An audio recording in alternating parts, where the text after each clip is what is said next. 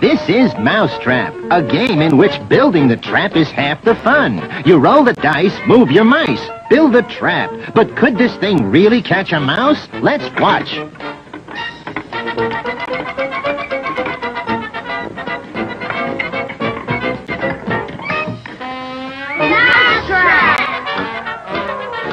The Mousetrap game. It's from Ideal.